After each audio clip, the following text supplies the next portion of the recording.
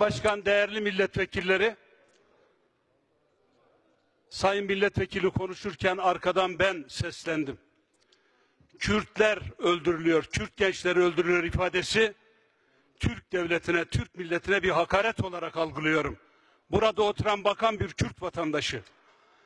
Şurada oturan bakan Kürt.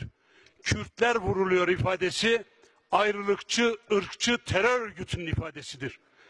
Bugün Türkiye'de Türkiye'de PKK yandaşı olan milletvekilleri dün Cizre'de kovuldular.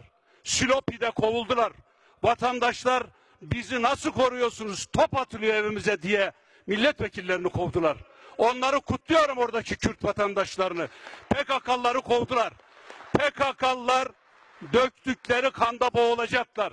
Hem de o kanda kim boğacak onları biliyor musunuz? PKK'lıları Kürtler boğacak Allah'ın izniyle.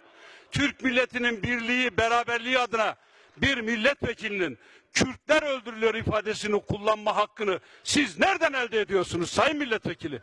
Bu millete niye hakaret ediyorsunuz siz?